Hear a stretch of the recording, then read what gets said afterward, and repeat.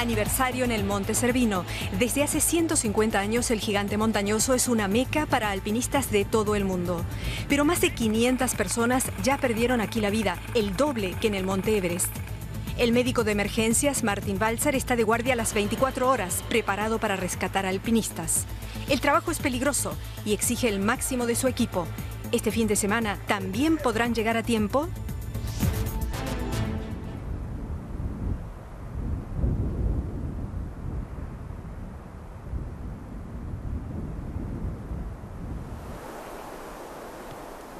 Cuatro de la mañana en la arista Hörnli. 15 alpinistas de camino a la cima del Monte Cervino.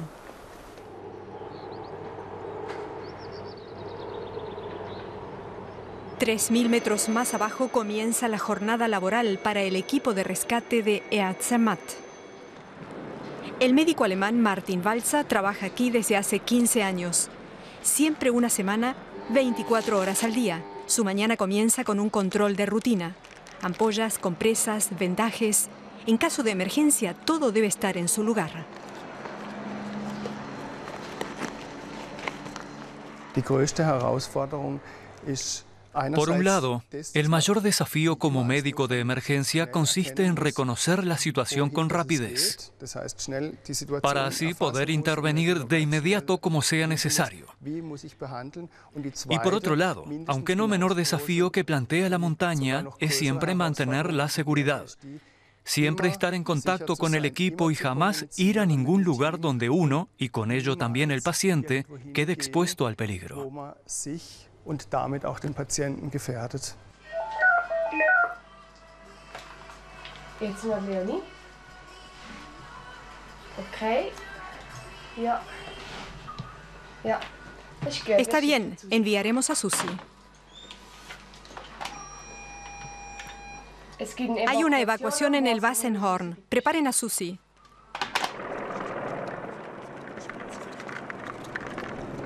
Susi es uno de los cuatro helicópteros de la base. Un escalador debe ser rescatado en la falda del Monte Cervino. Ascendió 3.000 metros en zapatillas hasta quedar atrapado entre nieve y rocas. El equipo de Martin Balsa está integrado además por un socorrista y un experto en montañas para seguridad del médico y de los pacientes.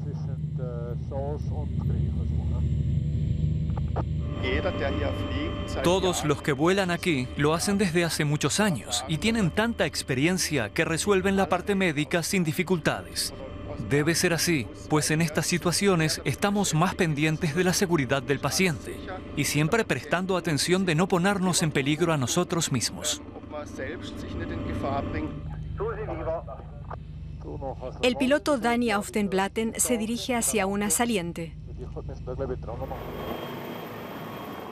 Aquí aguardará Martin Balsa con el equipo para que el helicóptero permanezca ligero y sea maniobrable.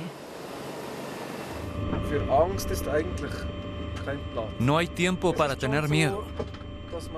Muchas veces, después de una acción de rescate, uno se dice, hoy tuvimos realmente suerte, eso sí puede pasar. Pero uno tiene que afrontar la operación de rescate con una cierta premeditación. An die Rettungsaktion drangehen. Wir mal schauen, ha? Go. Okay.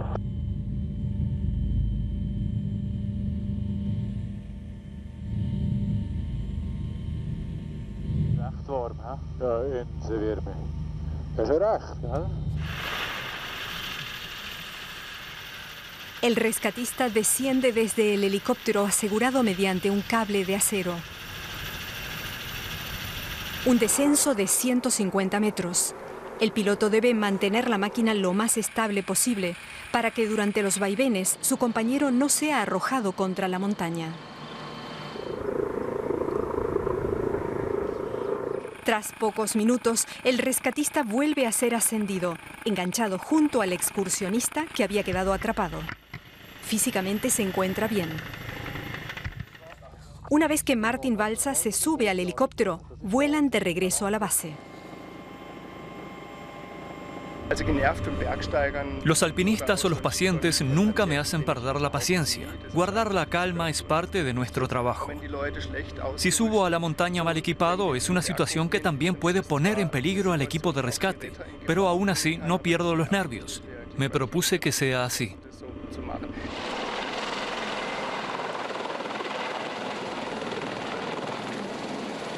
El alpinista deberá pagar el operativo de su propio bolsillo.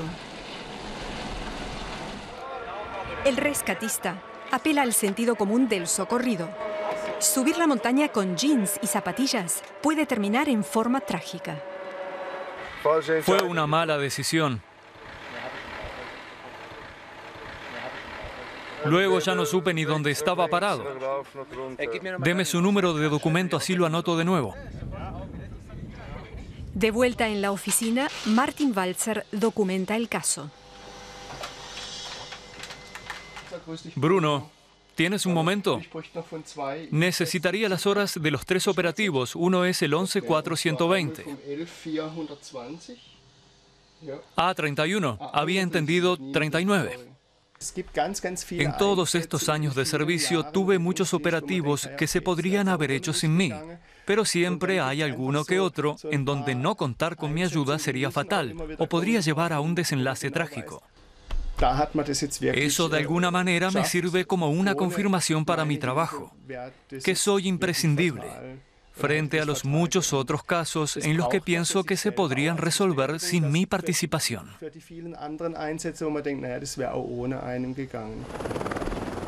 Poco después, hay una nueva emergencia, una caída en el monte Cervino.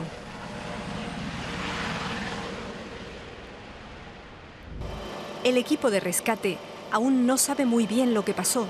Están preparados para lo que sea. Por radio reciben más informaciones. Según parece, un alpinista sufrió una caída de 50 metros. Los rescatistas intentan subirlo con una soga.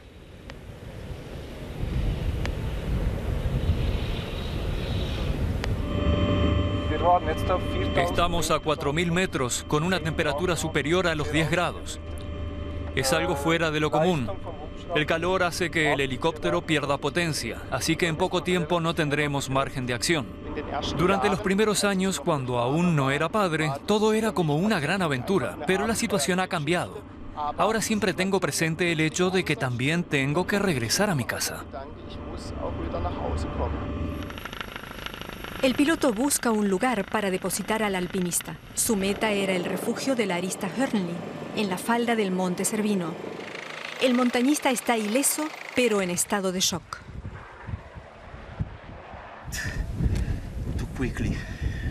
Fue todo muy rápido.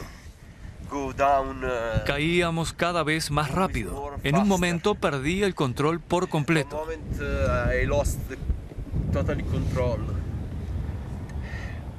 Le rogué a Dios, Él nos ayudó. Nos detuvimos justo al borde del precipicio, sobre las rocas. Casos como este se escuchan a diario en el refugio Hernley. Hasta 100 alpinistas emprenden desde aquí el ascenso a la cumbre del Monte Cervino. Kurt Lauba, el encargado del refugio, también es socorrista. Hace lo que puede para asesorar a los alpinistas, advirtiéndoles de los peligros. Es como un laberinto. Al salir temprano por la mañana todavía está oscuro, es difícil encontrar el camino y muchos se extravían. Por eso pasan más tiempo marchando y en algún momento se suman todos estos aspectos como el factor temporal. Cuando uno más tiempo pasa en la montaña, más se agota, menos concentrado está. Todos los detalles se van sumando y aumentan el peligro. Esta temporada ya hubo un muerto.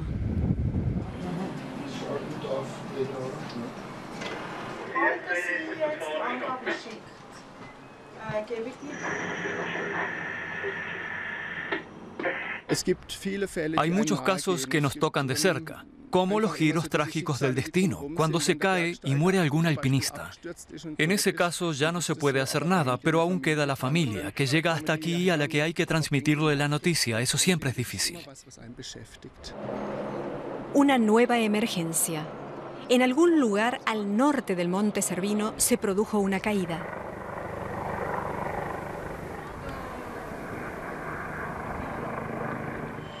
Volker Lischke, el compañero de Walzer, se hace cargo del operativo. Parece ser algo grave.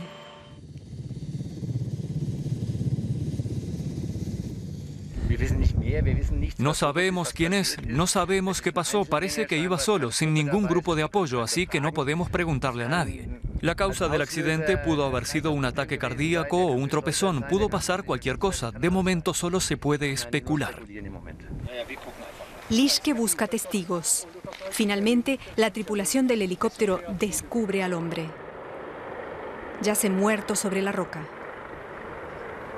Todo parece indicar que se resbaló en el área nevada y cayó a más de 100 metros cuesta abajo.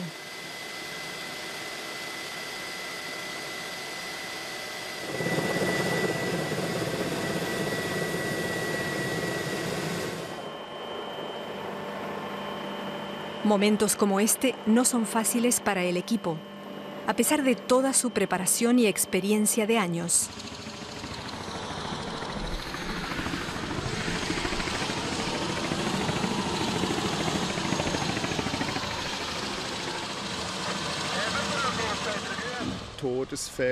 Los casos de muerte en la medicina de urgencia son parte del trabajo. Cada uno tiene su propia estrategia para procesar las situaciones. En mi caso, me ayuda a hablar con el equipo tras los operativos. La jornada de hoy llegó a su fin, pero el equipo de rescate seguirá siempre listo para un nuevo operativo, las 24 horas, 7 días a la semana.